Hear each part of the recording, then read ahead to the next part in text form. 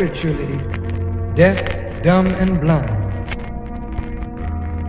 Why is everybody making progress yet we seem to be lagging so far behind? Why are we mistreated? Why are we in this condition? Stripped of our names, our language, our culture, our country, our God, and our religion.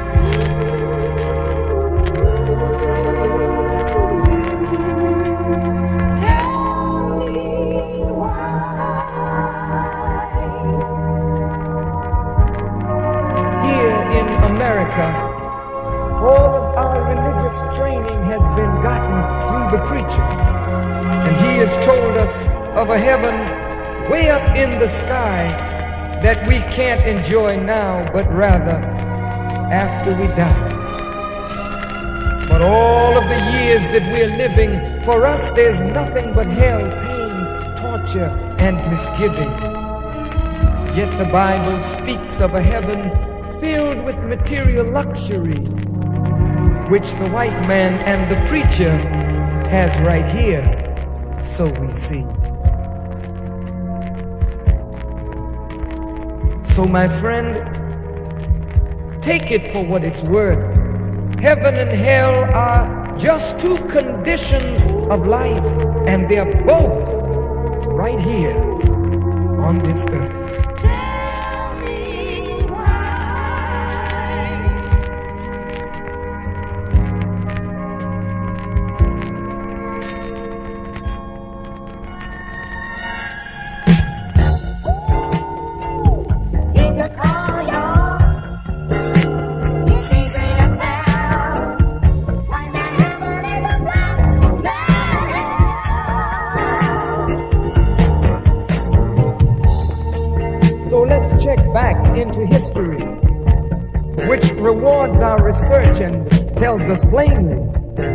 Before the white man gained entry to the East, he was living in the caves of Europe on the level of the beast, eating the bark of trees and eating flesh raw, till God sent Moses to civilize him and teach him the law.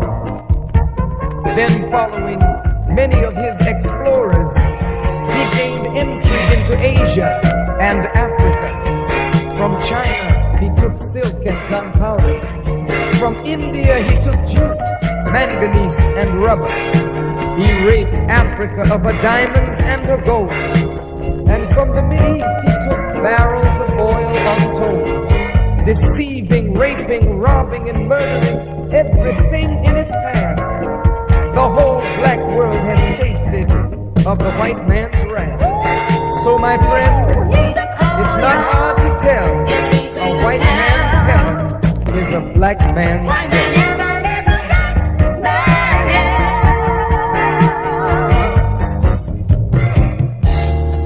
Before we came to America, we were living in the east by the Nile River, living in luxury, enjoying freedom, justice, and equality. We wore silken robes and slippers of gold. We were the wealthiest and the wisest people untold. Now we are the poorest of the poor. Nobody wants us at their door. So, my friend, it's easy to tell. White man heaven is a black man hell.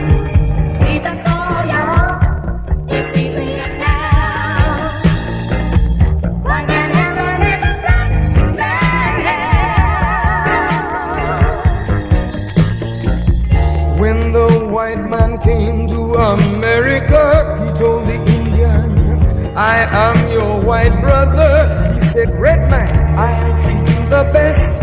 Yet until he pushed the Indian further west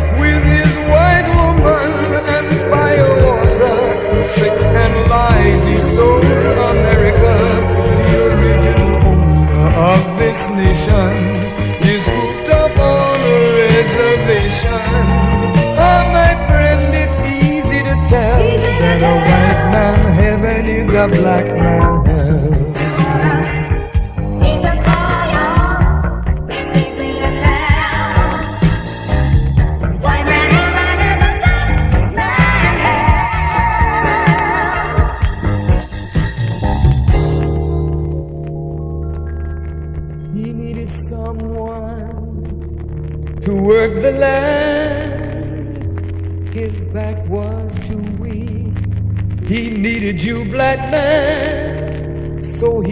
Sir John Hawkins to commit the world's most grievous sin. To take a man who's born to be free and bring him down to slavery.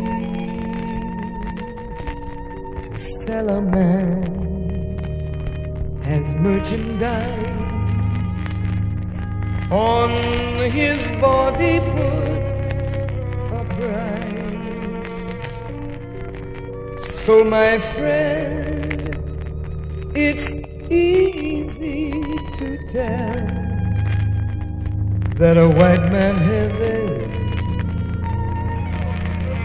is a black man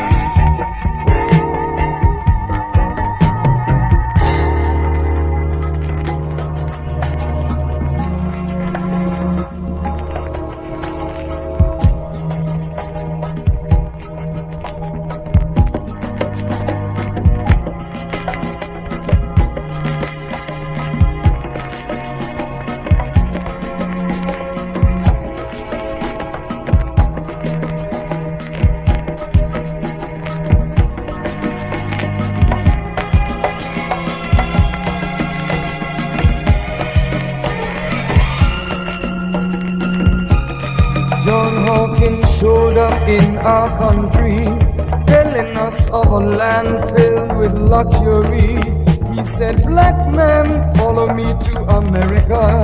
There you find more gold for your labor. Our foreparents were tricked on to his boat. Since that time we've been wrestling with the gold. We landed here in Jamestown, Virginia, 400 years to suffer.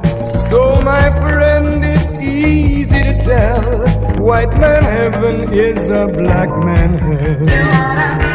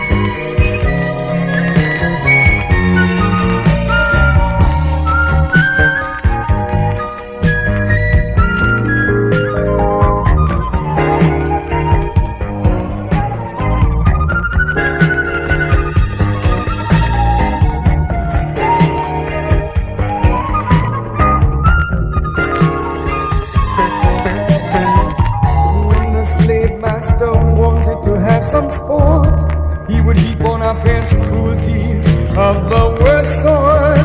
Burn them at stake, hang them on trees. His ears were deaf to our parents' pleas. Though you were pregnant, black woman, you pulled the plow. Like a horse, like a mule, sweat from your brow. He filled your with. His half-white children you were made to read. White man heaven is a black man hell.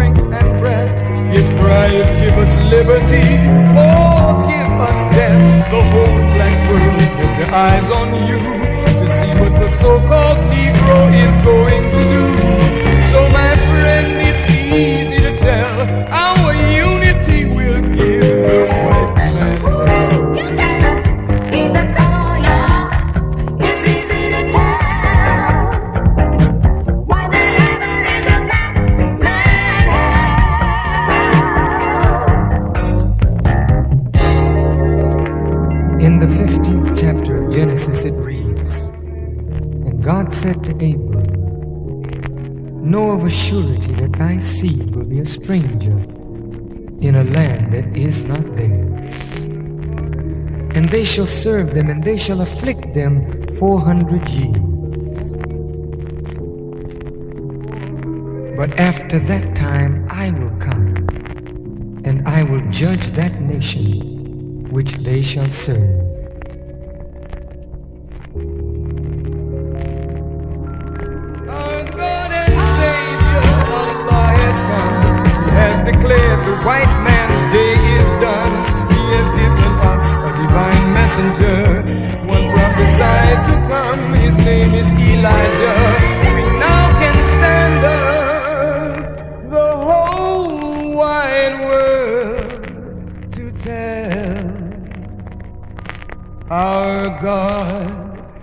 Come to give us heaven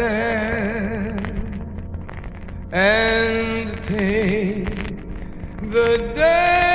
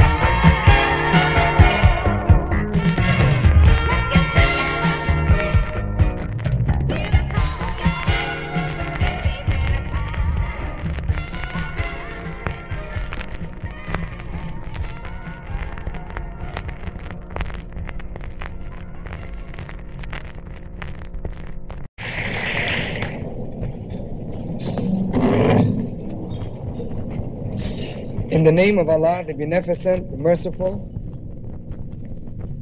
the one God to whom all praise is due, the Lord of the worlds, the great God who was to come and has come to seek and to save that which was lost.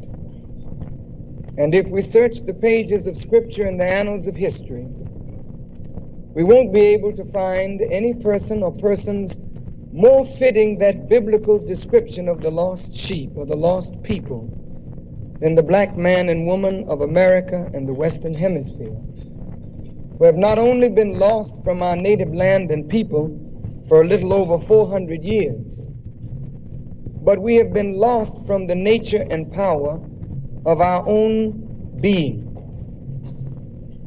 We who recognize the condition that black people in America and throughout the world are in are grateful to Almighty God for His finding of us who were lost and for His raising up in our midst a divine leader, a divine teacher, and a divine guide to give the black man and woman of America the knowledge that would bring him and her home to self and our own people. I thank Allah for the Honorable Elijah Muhammad. And in their names, I'm very happy and honored to greet you, my beloved brothers and sisters. With the greeting words of peace, we say it in the Arabic language, Assalamu alaikum. To those of you who don't know those greeting words, don't be upset. They are the greeting words that all of the prophets used. They simply mean, Peace be unto you. It is in that spirit that I humbly accept Jack the Rapper's invitation to be a part of the family affair. We're very sorry that Brother Jack uh, couldn't be with us at least up to this point, though hopefully we expect him sometime tomorrow if God pleases. We certainly hope and pray that he will have a speedy recovery because Jack has been and is a vital spark in the wheel that turns black music. I want to say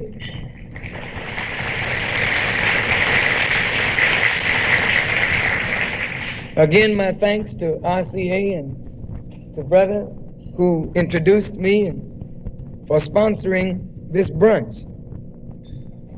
Maybe after what I say, they may not be so happy that they sponsored this brunch.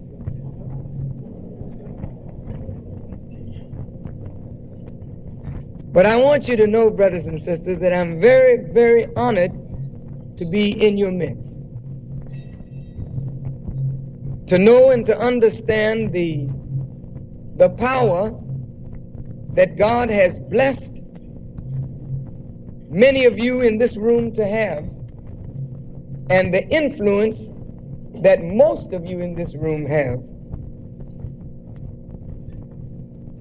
It is a great and profound blessing to me to be able to help to guide, hopefully, that influence and that power in a positive direction for the liberation of black people.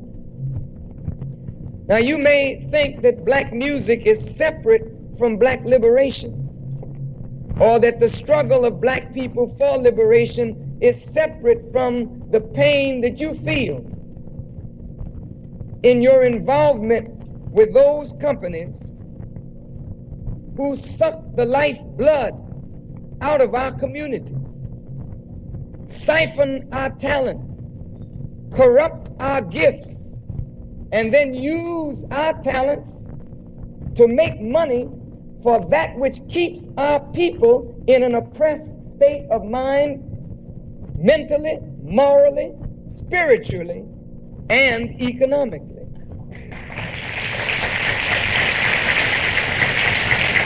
Some of us who share this dinner don't realize that our gifts and talents are being used by unscrupulous forces that are opposed to black advancement in any shape, form, or fashion. And some of us know we're being used and love it. I came today to add a serious note to the pleasure folk. I accepted this invitation because I recognize your value to the struggle. And I pray that Almighty God will bless the words that I speak, that it not be just a sound in your ear, that you clap your hands and say right on, and then walk out the door and be the same tool and the same fool that you may have been before you got here today. But I hope that what I say will make a profound change in the way you look at yourself and your role in the struggle of black people for justice. The time is too serious for us to mince words and play games. We really want to know where your head is at. Isn't that the theme of the? Yeah, I thought that's what the theme was. Where's your head? Some of you already know where your head is. And you know why your head should be lifted from where it is. Some of you think your head is in the right direction, and maybe you'll find out that you need more direction for your head. But whatever condition your head is in, there is no head in this room, including mine, that can't use a little more knowledge, a little more wisdom, but above all, a little better understanding. So, in the few moments that we're going to be together, I don't want to disturb your meal. I know you've had it already. But while your stomach is beginning to digest this luncheon feast, let your mind begin to digest this spiritual feast. The time that we live in, brothers and sisters, is very serious.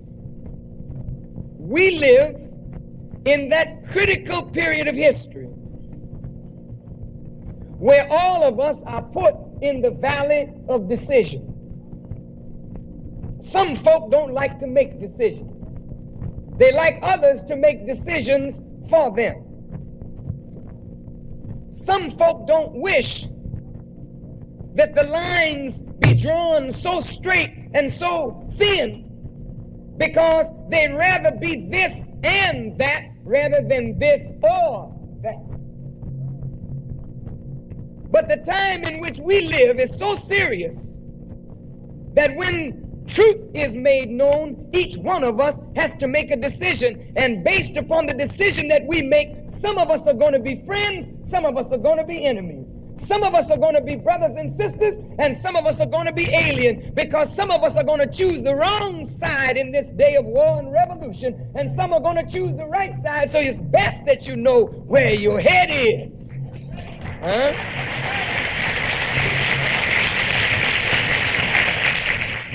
The Democrats and the Republicans have just had the greatest show on earth.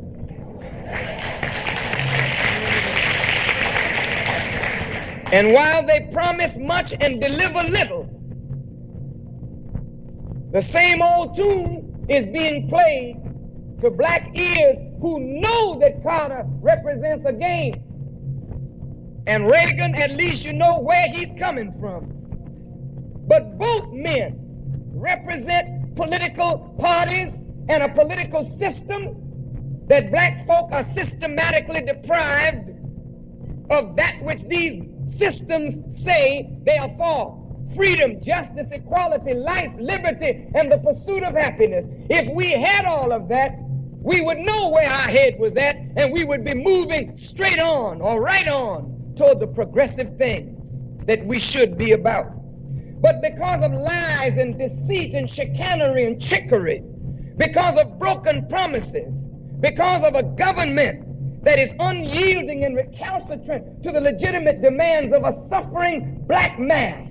And because of sellout black leadership who compromise the legitimate aspirations and hopes of black people who can't come in here and buy a dinner. They can't party and pop fingers like you because they're hungry, they're naked, they're ragged, and they're out of doors, but they're angry as hell, and they're about to bring this system to its knees.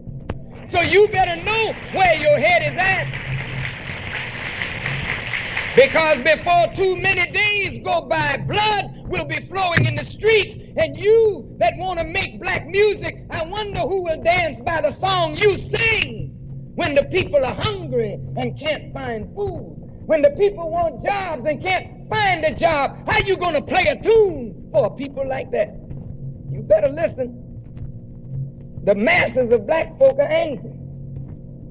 You see a government shaking now you see the mass of white people disenchanted with their own political system, disenchanted with their own political leaders. You see whites planning revolution in this country. You see the rise of the Ku Klux Klan, the rise of the fascists, the rise of the Nazi Party. You see the country moving steadily toward the right, not toward righteousness, but toward the right. Making it possible for Reagan a born again conservative to possibly defeat the born again hypocrite who lies in the name of Jesus. Now, I want you to listen.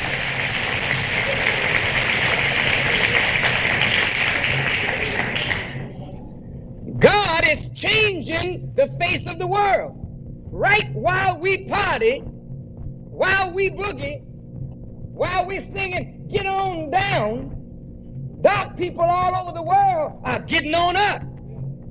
And the third world people are demanding more for the resources that America, England, Europe stole from them. And as they begin to demand more, the prices go higher. Labor costs more. And now revolution is in Central America, South America. It's brewing in the Caribbean. Before a year goes by, many Caribbean governments where you could go and lay on the beach in the sun and party will be bathed in the blood of the people who want a better life. And they want the foot of white America. They want the foot of imperialism. They want the foot of colonialism off their necks. So revolution is going to sweep the Caribbean. It's sweeping in Africa. And now in the Middle East, you find an Islamic revolution in Iran that is threatening the stability of the Middle East, which is the number one oil producer that makes the vinyl that your records spin on, that makes the tape that you play your music on. And as the plastic that makes the cassette has oil in it, the tape has oil in it, huh? As the oil prices go up, the tape goes up. The cassettes go up. And as it begins to go up and the prices go up, music companies, small ones, go out of business. Because black folk now don't have the money that they used to have. White folks stop buying because they understand that America is headed into a Great Depression. I know they're saying we're coming out of it. But there's a song we used to sing, it ain't necessarily so. This thing is going down, brother and sister. And the sad part about it is it's taking us down with it. Mm. Everybody all right? The aim of God today is found in the book of Genesis where it reads that the Spirit of God moved upon the face of the waters. Waters here represent the masses of the people. And in the masses of the people, you find a new spirit. People are calling for the accountability of their leadership. People in the countries of the world, when they revolt, they start killing their leaders. Have you noticed? They start killing the corruptors. They start killing those with influence and power who didn't use their influence and power properly on behalf of the suffering masses. They have trials and they execute. Liberia, a corporal a sergeant, pardon me, overthrows a government, kills the president in his bed. They run his wife naked through the streets. All of the government is on trial. And everybody that took a part in corrupting the country, corrupting the people, is on trial now for their lives. When Khomeini came to power, in Iran. The people said it's a genuine people's revolution. But the first act of the revolution is to punish those who sold out the legitimate aspirations of the people. Bring them on the carpet, shoot them in the streets, cut them down because they gave the power of their being to an alien force that was against the good of the Iranian people. These are signs, brother and sister. You think that that's just happening overseas? Why do you think Jesse Jackson has called for the federal government to protect black leaders? The federal government is the number one killer and destroyer of black leaders. Who would go to the government? Brothers and sisters, I want you to bear with me I'm a very frank, outspoken speaker because, see, nobody pays my tab. I don't belong to nobody but to God, and I belong to you if you desire me. But, brother, I love to be in an uncompromising spirit. I love the fact that no white man can tell me I'm going to cut you off in the morning if you don't play ball. Because the white man don't feed Brother Farrakhan. I'm fed from the love of black people for what I say.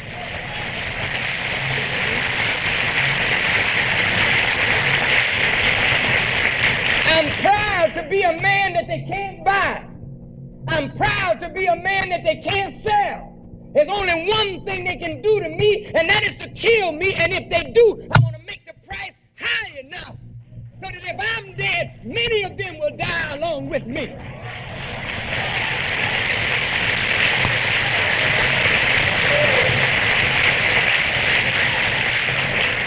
This is your last day of killing black leaders and walking away from it and talking about it. We're sorry about it. It's a tragic mistake. The hell it is. You're going to live with those same kind of mistakes because as we bury our dead, they will be burying theirs. This is the day you're living in, black man and woman. This is the day you partying in. This is the day you better think about your music and what we're going to do to survive as a people. That spirit of God that's moving over the people. The Honorable Elijah Muhammad said to us, he said, brothers and sisters, study what is happening in distant places. Because the thing you see happening in distant places will soon be at your door. You never thought that as long as there was a Burger King and a McDonald's, that you would see people hungry in the United States of America. You never thought that the day would come when the land of plenty would be screaming that it don't have plenty anymore. You never thought you would see the day when a person who works for the state would one day come to their job and find there is no job. The state has no more money, or the city has no more money. But you are living in that crucial hour, brothers and sisters. And what you see happening on distant shores, the spirit of it is right now inside America. There are black people today who are tired of foolishness. There are black people today who understand that the reason we don't have anything is because former generations may have been too cowardly to pay the price and make the sacrifice to pass on something better to our children. So every generation starts off like the one that preceded it in the hole because this generation wanted the fruit of other people's suffering but did not want to sacrifice and suffer to provide a future for our young. So now, as we party and boogie and get high and smoke reefer and snort cocaine and think that everything is going to be all right, the young people are planning their own liberation with you or without you.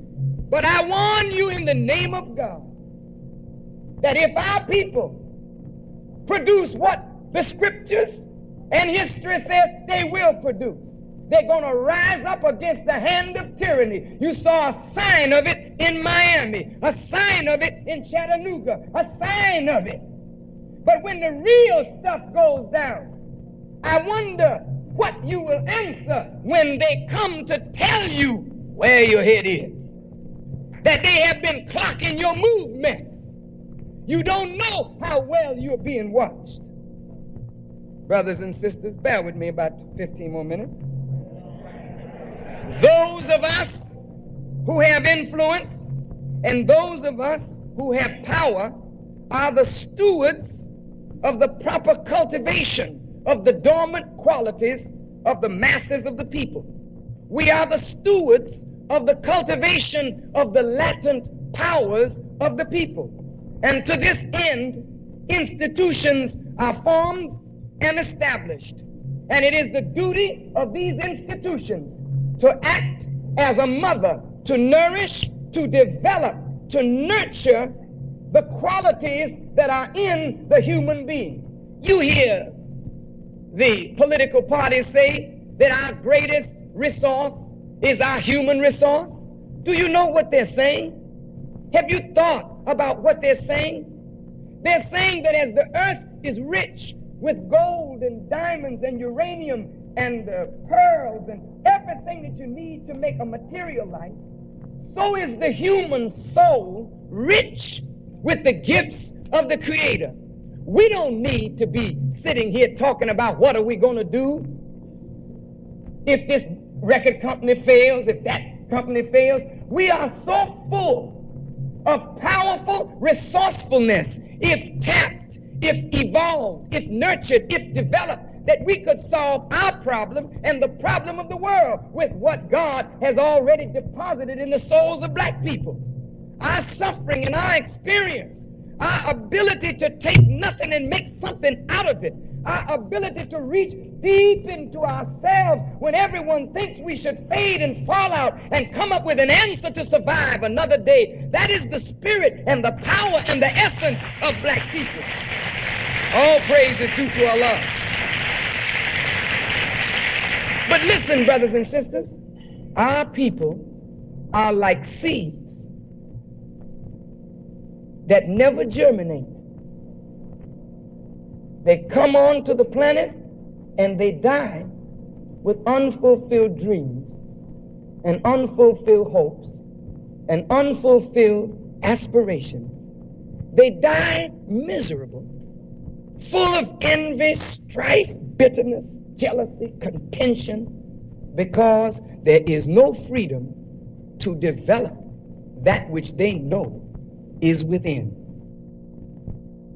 So, brother and sister, as you listen to me, I know that every one of you and my teacher.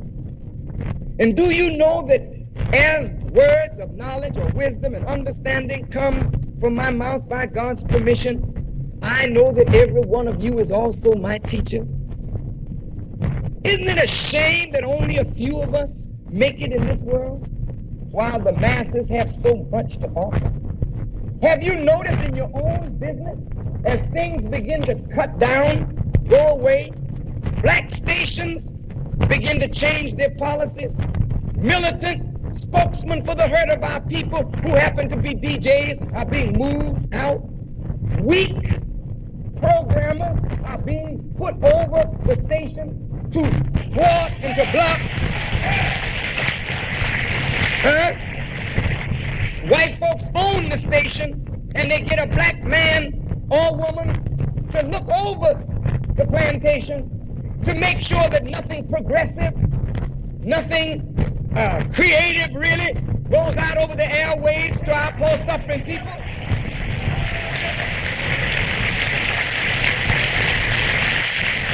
What I want you to see, and bear with me a few minutes, you to see and understand that every institution has failed to cultivate the best that is in black people. Black people aren't bad people. I know we do bad things. I know we are self-haters. I know we are murderers and the number one murderers of one another. I know that we are cheaters and liars and thieves. It's hard to even speak your idea near your brother because your brother will steal your idea and bring it to the white man and he'll manipulate the idea and give you nothing. I understand. But what I want you also to understand is that we are a product of training. And we have been trained to be like dogs for the master. Go, be hungry, but run out and catch the game and bring it back to the master. We're trained to be watchmen over his property. And if any black nigga, what is it, Fido? It's a nigger in the yard.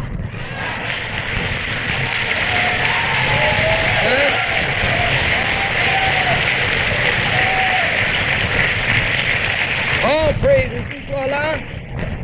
Beloved brothers and sisters, if the schools have not cultivated the best that is within us, how could it be when you have a doctorate degree and have no character? How could it be when you come out of college but you're a liar and a thief and a cheat? How could it be when you're proud and you're arrogant and you see your people need and you walk by them? That's not education. What good is education if it doesn't develop character as well as intellect? If it doesn't give you moral strength as well as intellectual prowess? How could we be developed with a doctorate degree and then a faggot at the same time? Huh?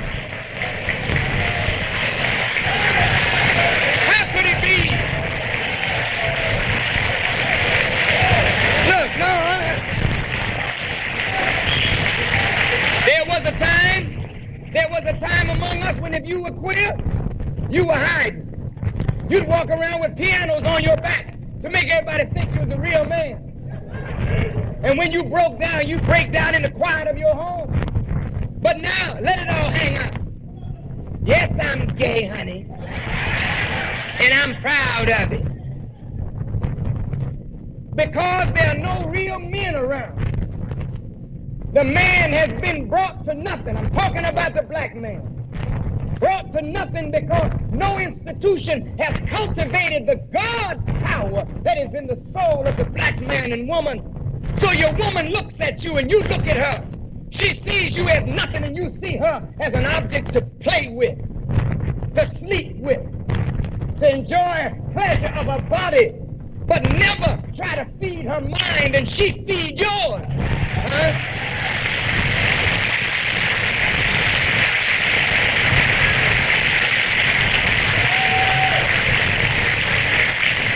Not only has the school failed, but the institutions, the religious institutions, have failed our people. What good is it to make people holy and make them dumb at the same time? So they say their prayers. They say, I don't smoke, I don't drink, I don't gamble, I would not be seen down there at that Black Music Association. I wouldn't go near Jack the Rapper. That's foul talk. But don't have nothing. You got the Holy Ghost, but the Holy Ghost can't guide you to set up your own record, manufacturing, and distribution. You live in every city in America, but you relying on CBS and RCA to distribute your talent, and that's why you're a slave in 1980 to the white power.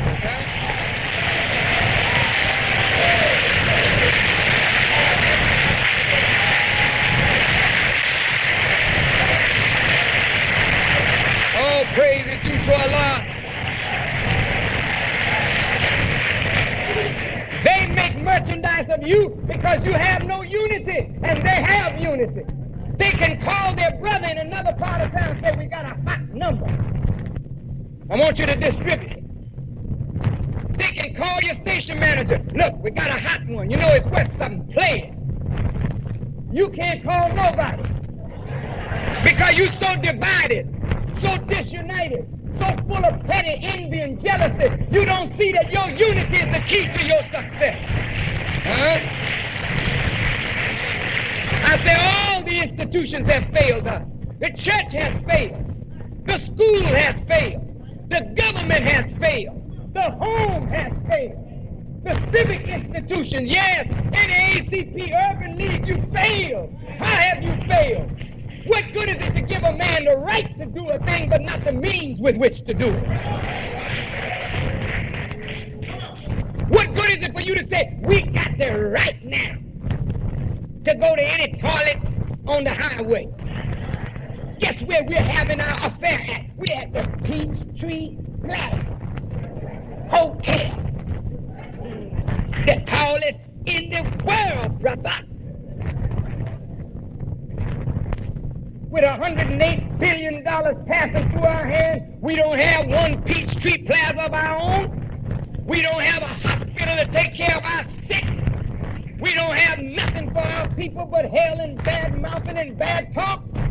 And you want people to respect you as an equal with nothing? You want people to honor you and you don't honor yourself? All the institutions have failed to cultivate the soul of black people. And so black people come on the planet, they live and they die unfulfilled because no institution serves their needs.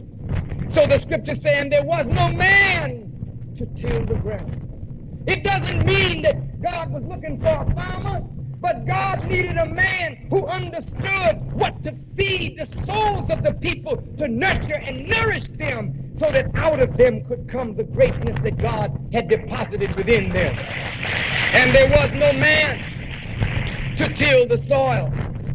And so black folks stifle and suffer and die. You know, brothers and sisters, the wickedly wise who rule this world understand that thought is produced by what you see, hear, smell, taste, and feel. That through your senses, messages come in to create thought. And if they can control what you think, what you hear, what you taste, what you smell, they also can control how you feel and how you think, can predict your actions and master you without you ever knowing that you are in 1980 a bigger slave than your parents were in 1680.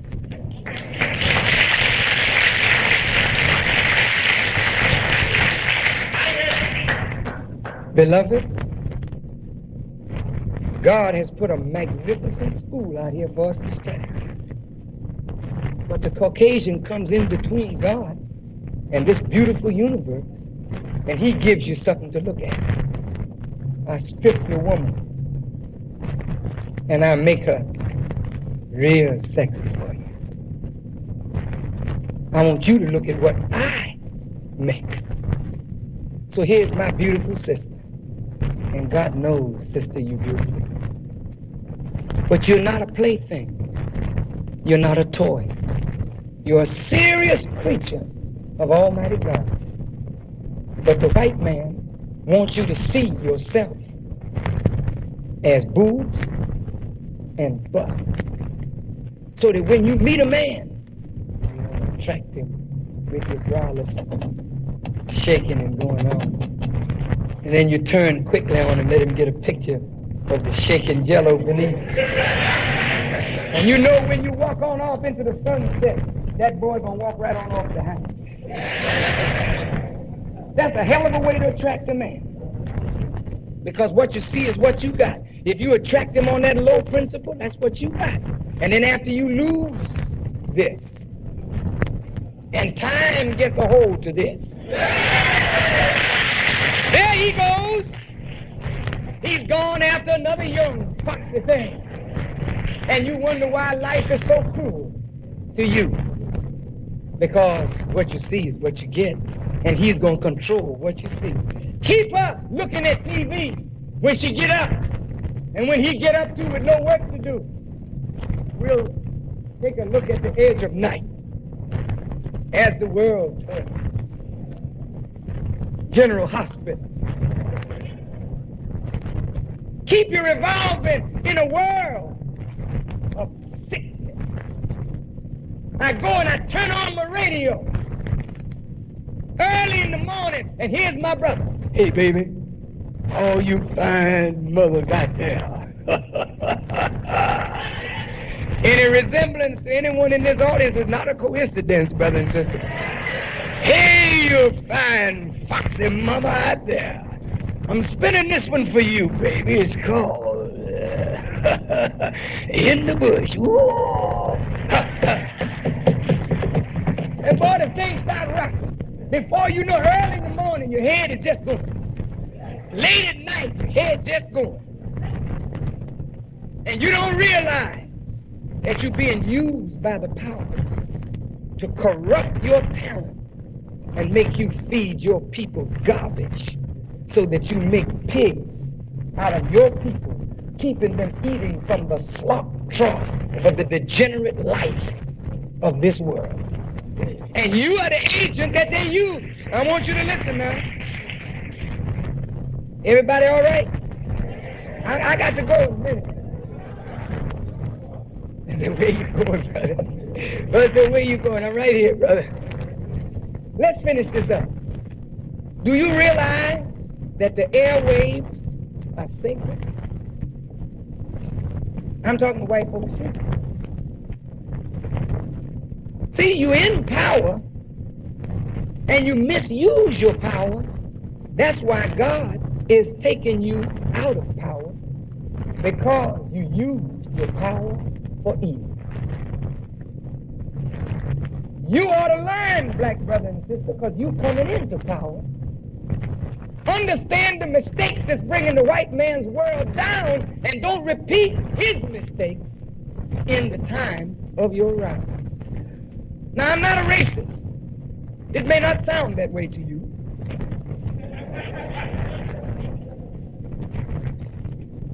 But I don't have a stone to throw at white people because they're white. That would be foolish. But I have a stone to throw at you because you're white, you're in power, and you're evil in your mistreatment of the masses of the people, your own, but especially black folks. I want to talk to you. And you are going to reap exactly what you have sown. Now listen. Everybody all right? Okay. The air is sacred. Ain't that something? A, a spiritual man at a black music uh, conference. But really, this is what you need. You need somebody who's not going to try to butter you up. Because that's not your friend. You need a brother who loves you, who will tell you the truth regardless to whom or what. Listen, I may not be able to speak to a gathering like this again for a long time.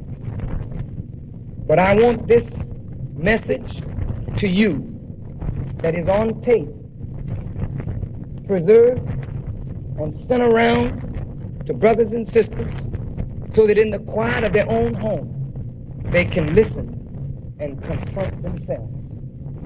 Because in the final analysis, I got to confront myself. You have to confront yourself because change can only come from you, within you. All right. The airwaves, I said, are sacred. Look at the Bible. Genesis. God makes a man, and after the man is formed from the dust of the earth, the book says he breathed into him the breath of life, and he became what? A living.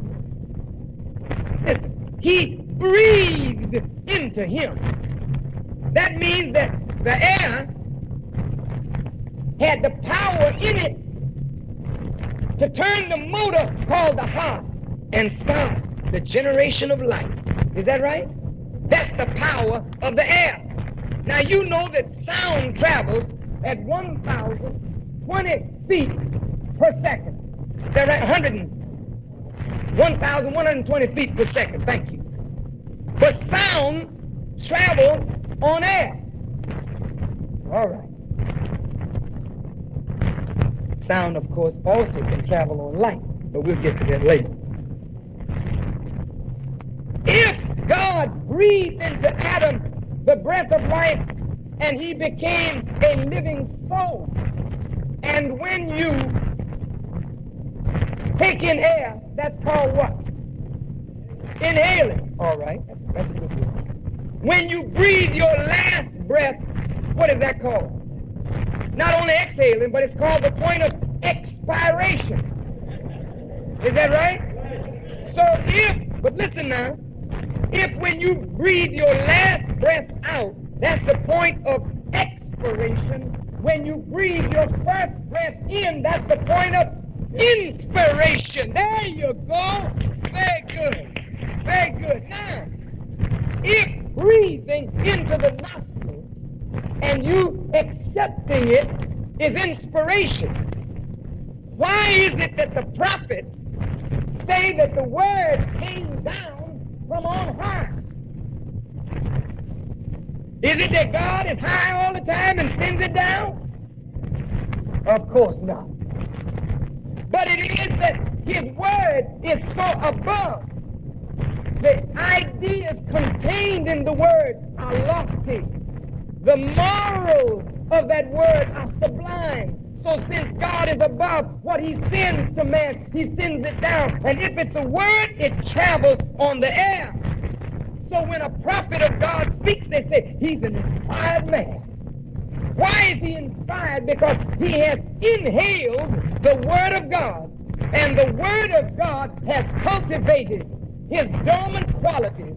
And the man is able to see, to hear, but not see and hear on a low plane. He sees and hears on a high plane. So he feeds inspiration to the people through the Word of God.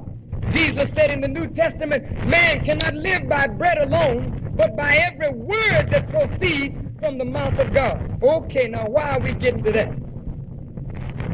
Because when you, and you don't control the airwaves, but when you have a chance to use the air to get to people, look, brother and sister, you know, one on one, I can talk to you, you can talk to me. You can influence me, and I might be able to influence you one on one. But Lord, when you're on the air and you talking to folk and they don't talk back, you got power to influence the way people think. What do you think those commercials are for? Uh, brothers and sisters, if you have your car has it been in a wreck, go down to Honest Sam, who has a fine place over here on so and so and so and so street, and he will fix your wrecked car for so and so and so. Get Rinso, get that, use Colgate, use Lux, use this. What are you doing? You're influencing people to buy your product. Well, the same way you influence people to buy Duz instead of Tide. Or Lifebuoy instead of Ivory. You can influence people to do better with their lives. Unfortunately, they don't hire you for that reason. When they hire you, they want the most ignorant, foul, funky, low down, something that they can get their hand on. Listen, I'm telling you the truth. When you go to them, you go funky and foul. You come too dignified. Oh, man, I can't have dignified. This nigga dignified. He talk dignity to the people. But before you know it, them niggas will be dignified. I want me a down funky nigga. Can you get down? Can you talk trash? Can you get funky? Can you get nasty? You got the job. Now look, brother, that's the basis upon which they hire you. And do you know why? White folks is into the business of mind control. Don't you know why black people are not productive? It's because their minds are being controlled and you are the agent that they're using. You in black music. Listen to me, brother. Because I'm warning you today, but tomorrow your head is going to roll. It's a bold statement, but you're not going to live doing this madness to our people. I'm telling you. One day before long, we're going to be in power.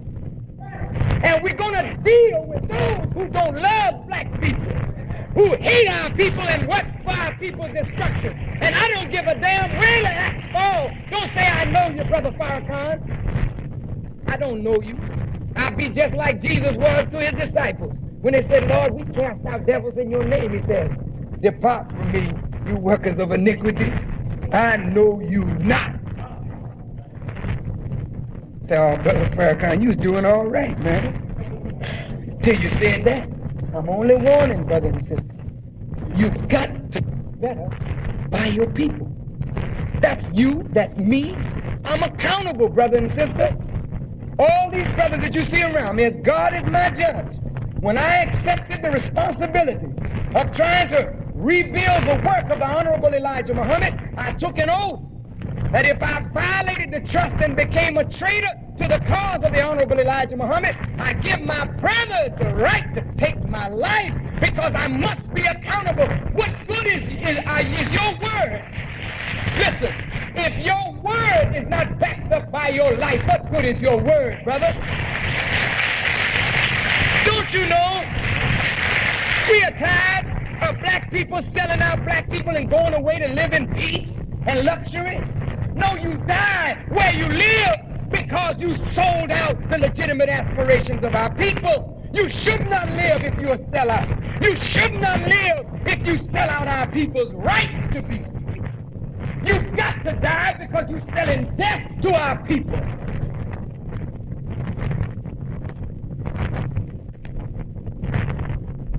Dope pushers using your fame and music to sell drugs to our innocent babies. How long do you think you're going to live and get away with that?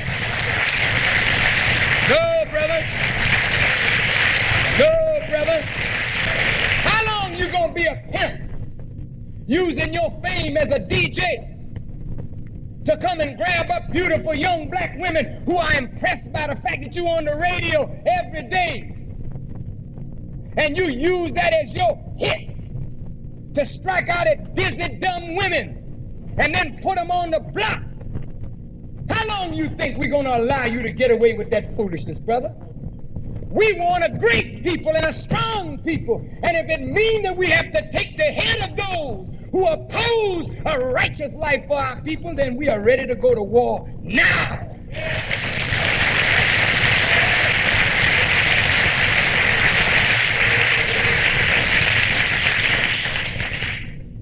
Now I come to conclusion. Look, brothers, sisters, I want to ask you. There are two worlds. There's the, the overworld and the underworld. Which world are you a part of? You know, in the Genesis it says God created the heavens and the earth and he put the lights in the heavens to rule the earth. He made a greater light to rule the day and a lesser light to rule the night. But he put light to rule both circumstances, night and day. That's telling you and me that as there is a heaven above and an earth beneath, there's a heavenly part of man and there's an earthly part of man, and the heaven should rule the earth. But in order for the heavenly part of man to rule the earth part of man, the light must be turned on in the heavens so that the man can have the power to rule himself. You hear what I'm saying? All right, now I'm coming to the overworld and the underworld. Adam fell, didn't he? Come on. Man fell, didn't he? Where did he fall? Did he fall out of the sky? No. It was a spiritual fall. Why did he fall? Look. You see this human body? Usually the navel is like the center, just above the navel, really. And you have the upper and the lower part of the human being. Is that right? The scripture says, Love God with all your heart, soul, and mind. The three parts of you that serve God is the heart, the soul, and the mind. That's what God is after. When he comes, he don't come to the underworld. He comes to that which rules you. Your heart, your soul, and your mind. Adam fell. Why? Listen. You see this dividing line, the navel? Right here is the stomach. The stomach represents the appetites of the human being. All of us are creature of urges and appetite. I got an appetite to eat, so I eat. I have an appetite, a thirst for drink, and I drink. I have a desire to be loved and to love. I have a desire for the material things of life, but that desire should be governed by what? An intelligent mind. A heart should be under the control of that intelligent head, and the soul, which is the essence of the individual, should be revolving around that light, that wisdom, to make sure that our desires are in harmony with the law and the will of God. So when Adam rebelled against God, he fell. It didn't mean that he fell down on the ground. It meant that he fell from ruling the body with the head, with the heart, with the soul. He fell now to being ruled by the urge. Now look, the stomach is over the navel. Is that right? As the head is over the body. Well, when your urges and your appetite become your master, then your stomach is your head. Where's your head at? Ain't that the conference? Look now. Follow. All praise is due to Allah. Your stomach is your head. And then all of your passions submit to this, the appetite. So what do you want? I want a Cadillac. What do you want? I want that white woman over there. What do you want? I want to be a big shot in the radio. What do you want? I want to be a star. What do you want? I want a lot of money. What do you want? I just want to have a good time. What do you want? See, all your desires. Now, when you desire, here he comes. What you say you want? You want a Cadillac? I make them. hey, hey, man. You, you want a Cadillac? Look here. It's 17000 for the for the jive one. But you know you, and you know me. We brothers. You want the best. I don't care what you got, you want the best. Seeing white folks know this about your nature. It ain't that black folk like to just ride Cadillacs. Black folk want the best because their nature tells them they are the best and they seek the best. Look here, brother. White folks know this. You go downtown to buy high five. If they show you the least model which fits your pocket, and they show you the most expensive model which fits your taste, you buy your taste and not your pocket. And that's why you're in debt today because you want the best. You understand what I'm saying? Are you ruled by what? Come on. That's your boss. That's where your head is at. It's in your urge and it's in your appetite. So when he makes the Cadillac, he said, well, look, it's 21000 the one you want. So you said, damn. Excuse my language. Damn, I sure want that car. But Mr. Schlossenberg is only paying me a hundred and a quarter a week. Some of you just want just to get on the air, you take 125. 150. Because I know you, brother. Me and you are brothers. We flesh of each other's flesh. Bone of each other's bone. I know why you take it. Because you got a greater desire to be known than you have a, a desire to have money. So all they do is feed you with the desire to be known. Look, you be known. But I, you know, I, I ain't got but 125 to give you, 150. I'll take it. But there's a Cadillac out there, 21 grand, 22 grand. Now you gotta do something extra to make it. Here come payola. See? You set up now. Because the Cadillac, that's what you want. He coming, look at me. You get that Cadillac, do you? And here come Mafia. And look here. You got a lot of appeal. A lot of people listen to you. Oh, thank you. thank you.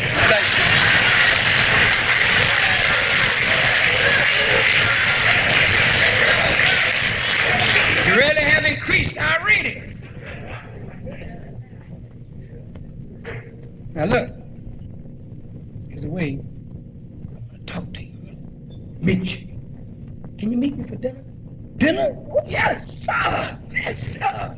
Where you want me to meet? They take you at the fine club, you know. They walk in, everybody knows them. How do you do, sir? Oh, sir, sir, sir. And you said, man, look at that. Man, me with my with my wet look. me with my, you know, my what do you call that? Jheri curl. Everybody digging me, man. So you got your white on, white in, white, and you step on in and you sit down. Order what you like. And he's got diamonds flashing everywhere. And he reaches in his pocket and a wad of money come out, nothing but hundred dollars with a thousand dollar coat in it. And he does it in front of your face. You say, damn, I ain't never seen so Say, look, you're a very popular young man, you know. And I think you could help our organization and we can help you. Why don't you sell these drugs? I don't do those kind of things. Everybody's using them. So why don't you sell it? They're going to buy it from somebody else. Why not let them buy it from you? Now you're wrestling with yourself, man. I can't do that. If I get caught, they tell you, well, if you get caught, the syndicate backs you. Just like they backed the shot till he got caught. Always remember when white folks promise you, that's up until the time you get caught. You understand that, don't you? He can't be trusted. His word don't mean a thing. And you putting your life on that word and killing your people. And look, brother and sister, I just want to say this. Desire. And right at that table, he got a fine white woman. Right at the table, eating dinner. And you can't talk to the man for looking at her. And she just throwing her hair. And you know your woman can't do that. She may break her neck.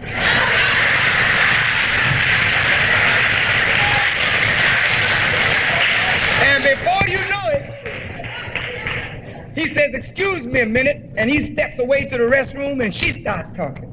Oh, hello, you know, I listened to you on the radio. You're so sexy. Because I don't want to talk that in front of him. He's my man. Sexy. well, you know, baby. and before you know it, you and the white girl gone. Now you really in heaven. $125, a white woman, and a pocket full of dope. And later, about a month later, you got your Cadillac. You got you your nice car. You're getting your nails done. And you're a big nigga. But you're part of the underworld. Your people dying because they want to breathe. And you're stifling and suffocating them because you like a Cadillac more than you want people to breathe. Now here comes the black music or the big music man. RCA, people who sponsored me today. CBS, Columbia.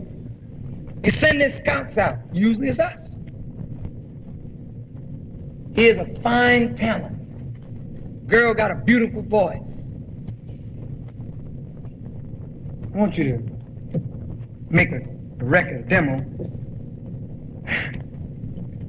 People busting their run, making a demo, going in the studio, paying all kind of little money that they got just to get a product because they want to be known. And then you tell them the demo's all right.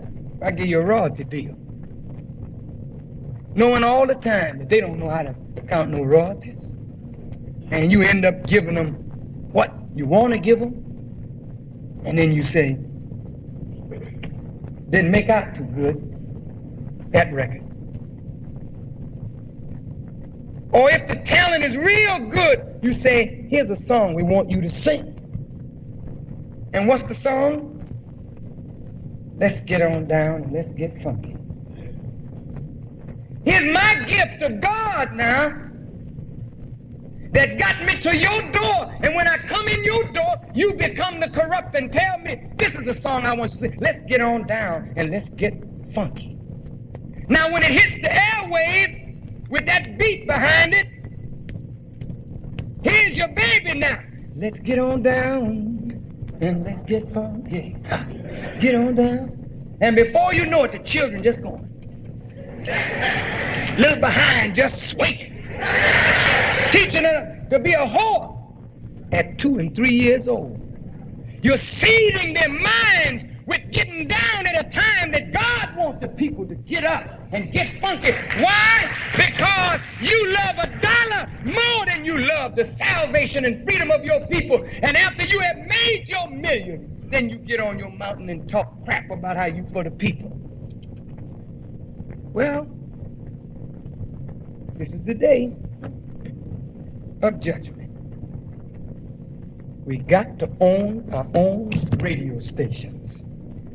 We got to stop looking to white people to do for us what we must unite and do for ourselves.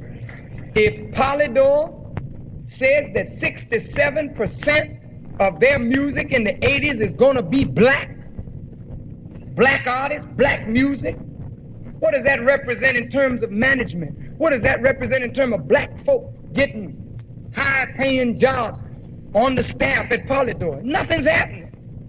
You get a token nigger here and a token one over there and a token one over here, but all the bulk of the money you never see it. But it's because you don't want to do it for yourself.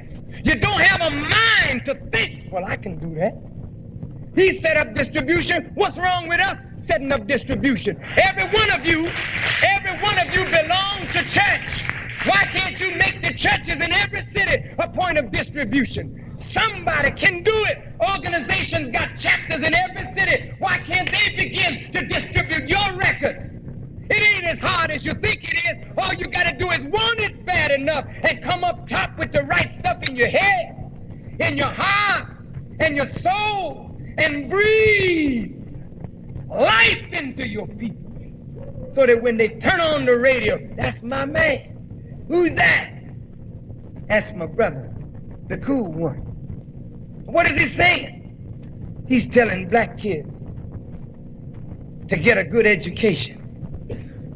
He's telling black kids to learn the knowledge of themselves so they can love themselves. He's inspiring black youngsters to look out for their elderly. And instead of ripping them off, take care of them. Who's doing that? The local DJ. Who's doing that? That's radio station W so and so and so and so. That's our station. If the station is feeding us, then we want to know what you feeding us. And we got to have some control. And in the future, if that station does not feed the black community the things that we need to be inspired to live, then that station will not exist. You hear me? The brothers and sisters are fed up, brother. You'll see. I made a record. I'm not an artist. I used to be. I used to play the violin. I used to sing calypso. I used to do these things. But I gave it all up. Because this word that is in my mouth is more important than music because it's music on a higher level. I love your music. Your talent is magnificent. It's ours. But I want to see it used so you can benefit, so the people can benefit, so that with the money that we make through black music, we can set up the institutions that will cultivate what our people need. We need hospitals. We need schools of our own. We need farms. We need factories. Black music is making it for white people, but not making it for ourselves. And we got to turn that around. So, brothers and sisters, I thank you and I pray that Almighty God will bless you to come up from the underworld into the world that's ruled by an enlightened mind and a heart that pumps with the love of truth and justice for our people and a soul that is set on fire with the desire of liberation. And then the stomach becomes our servant and our desires become our servants. And that's how we are mastered by Caucasian people. They want to know what you want out of life. And if they know what you want and feed it to you, they give you this if you give them that. There is no compromise. Today, we want freedom. Foremost, for ourselves and our people, and there's no compromise. We want a future for our babies, and there is no compromise. We want a better education, not an education that makes me ashamed because the color of my skin is black and my hair is nappy and my lips are thick and my nose is broad and my origin is in Africa. I don't want no education like that. I want an education for me and for you and for our children that will make us look in the mirror and when we see the blackness of our skin, we will know that I'm black not because I'm cursed. I'm black because I am the original man. I am black. I am black because two white people cannot produce nothing but white. They can't produce yellow, they can't produce brown, and they sure can't produce us. I am black, like Solomon, but comely, O ye daughters of Jerusalem, I'm black because I'm your father. I am black because everything came out of blackness and then into the light. I am black because I am the originator. I am black because I am Alpha and Omega, the beginning and the ending of all things. I am black because I am the essence of God, and the essence of God is in me. Yes, I'm not cursed. I'm proud because I'm black. If they're proud because they're white, should not I be pleased because I'm black? Oh, yeah, my hair's curly. Take a good look at it. I ain't got no Jheri curl in it. White folks and black folks make that stuff up for people who are dissatisfied. Because you don't like the way the Creator made you. You think you can beautify yourself some more. So you do everything to yourself except and kill yourself right along with it. Put a lye in there, burn it out. Make it blonde. Make it brunette. Fix it up. For what? So the Clairol gets rich. Everybody in that business get rich. You get poorer and dumber because you're dissatisfied with your own natural magnificent beauty. You don't need nothing to make yourself beautiful. I know white folks tell you a woman is ugly. But if your black woman is so ugly, why is he hanging around her doorstep all the time? You come on home. You need an education that will make you love your black woman like you love yourself. You need an education that will take your fist out of her mouth. Stop you from beating your woman and make you recognize that your woman is a part of yourself and you can't go nowhere without her and she can't go nowhere without you. Black man and woman. Put your talent to work. Put your genius to work. Put your music to work. And let's own thousands of acres of farmland so we can feed ourselves non-chemicalized death that the Caucasian is feeding you and me day and night. Take your mouth out of the white man's kitchen. Go on, black man, with your music, but let your music buy ships for you that you can trade with third world countries across the water. Then when we sing and when we dance, It'll be a new song and a new dance. I don't mind dancing that kind of dance that put a ship on the ocean and a plane in the sky and put institutions there for black people. And then white people that laugh at you, mock you, ridicule you, scorn you, and make a fool out of you, they'll tip their hat and say, Good God Almighty, the nigger is up. now we can see where his head is at. Thank you for listening.